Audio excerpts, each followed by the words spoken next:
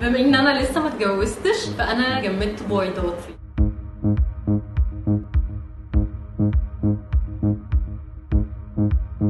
هو أحسن option بالنسبة لي يعني يحافظ على ال chance بتاعتي إن أنا أقدر أخلف أي وقت أتجوز فيه.